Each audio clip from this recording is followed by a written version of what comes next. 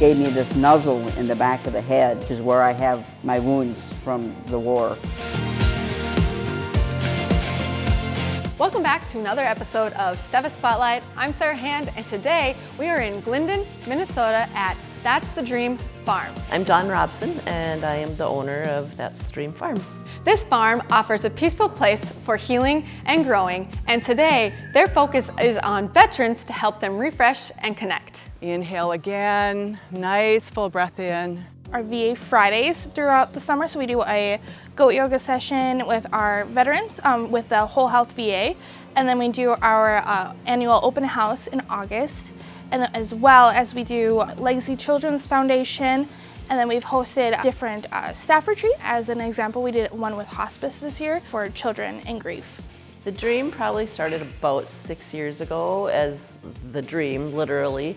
I would tell people what I wanted to do and then I would say, well, that's the dream anyway. In my words, uh, That's Dream Farm is a place where you get to be able to come and refresh and relax and reconnect with yourself, but also learn to reconnect with others and learn healthier relationships and healthier principles.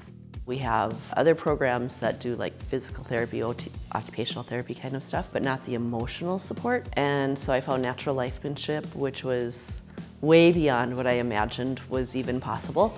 It's uh, trauma-informed care and also emotional uh, relationship learning through relationship with the horses and you learn relationship skills for human relationships. And sometimes that connection might be first made with an animal for someone. Rosie, our uh, Nakota horse, we have, we have a really good connection and she was over out in this other pasture while we were in the cottonwood pasture and she was just standing there and you can you can feel that connection and she was like looking at me and I was looking at her and I could tell like she wanted me to go up and see her. And so I went straight over here to Rosie and she was standing by this gate and she just sat there and put her head down on me. And so I wrapped my arms around her and kind of just gave her a really big hug. She's like a cat version of a horse. Just the sweetest little thing, our gentle giant.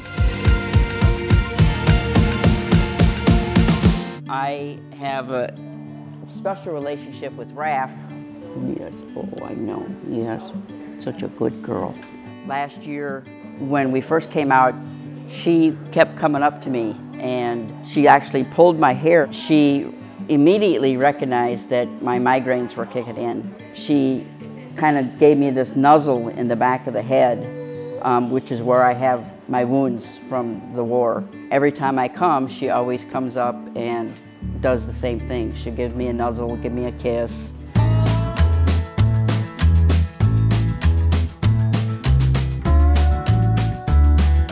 We work with Legacy Children's Foundation and one of the kids there, um, we do box breathing cards. So they get to learn to breathing exercises and we gave it to them one day and like what, because the kid was so stressed about a test and so we were going through different ways to relax and uh, recenter yourself and he came back the next time and he goes I didn't realize how good I was going to do on the test and then I realized I had the box breathing card with me and he asked his teacher if he could have it out while he did the test and he used it and he said he did better on the test than he was expecting because he used the box breathing card.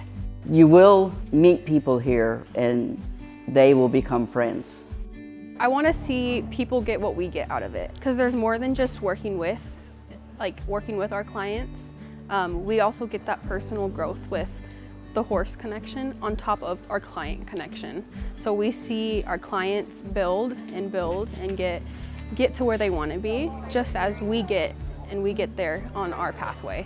So it's it's a great thing to see those relationships build and your relationships mend as well with at the Dream Farm, we have to also work on ourselves to work with others because if we're not good, then others won't work with others. And so one of the big things for me is growing up, I got my permit and then I could never work through the problems of getting the license. It was always so terrifying for me. And as of yesterday, I got my license. And with that, I remembered I was sitting there and I was thinking, oh, like why why am I doing this? Like kind of downing myself. And then I remembered like, oh, we have these kids who go take tests and they, just like the story I told you, um, they go take these tests and they use the stuff that we're saying. So why am I doing not doing what I've always preached?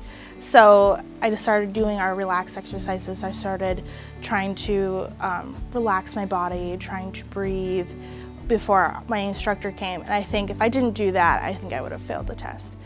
Think about how great it feels to be outside, be in the outdoors. Feel like I, this is, I'm just walking in my purpose. Like um, being able to do this for people uh, is just such, it, such a blessing. Imagine feeling your toes in the grass. And that's a wrap for this edition of Steffes Spotlight. Um, I found myself a new friend. Her name is Amelia. And yes, she showed her face to all of the veterans today. She is a love bug. And it is true. Animals do really make the heart grow fond. So don't forget to hit that like and subscribe button and we'll see you next time.